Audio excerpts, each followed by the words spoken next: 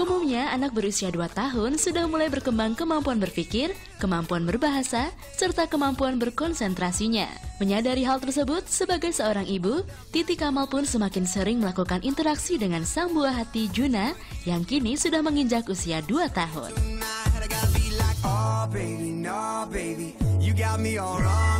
Iya dia udah udah ngoceh terus udah ngomong udah banyak banget alhamdulillah kosakatanya dia gitu. Jadi ya misalnya aku lagi pengen ke ke belanja sesuatu terus dia bilang bayar dulu gitu.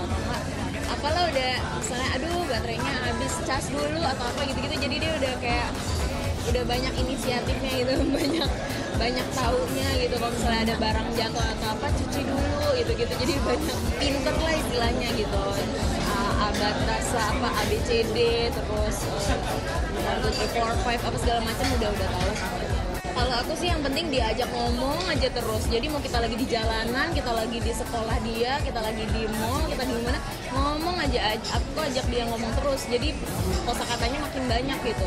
You don't understand, you don't understand. Di usianya yang baru menginjak 2 tahun, Juna pun sudah lancar dalam berbicara. Hal tersebut tentu saja membuat Titi sangat bangga dengan perkembangan yang ditunjukkan oleh sang buah hati.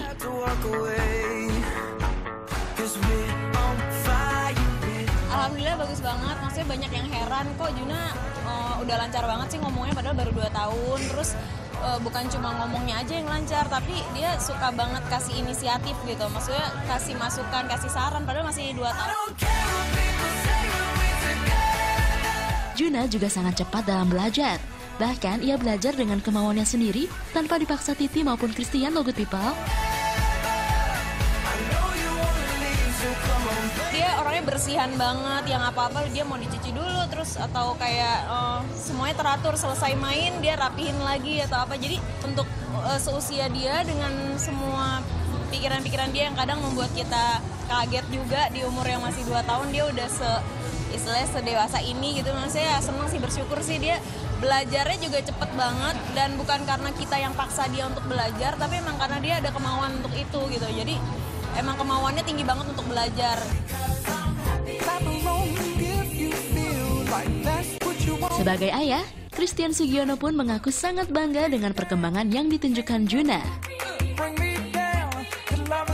Satu hal yang gue gua cukup cukup menarik gitu buat anak kecil zaman sekarang tuh kan teknologi ya kita dari kecil dia udah terekspos sama touchscreen gadget YouTube gitu ya Juna dia udah- dia udah ngerti dia nonton YouTube dia udah tahu mana yang dia mau gitu. Misalnya dia bisa milih sendiri milih sendiri dia bisa search nggak makin kata-kata cuman apa yang dipilih situ kadang gue mau milih ini dia nggak mau karena dia mau nonton yang ada sapinya gitu misalnya. Dia dia tahu yang mana gitu.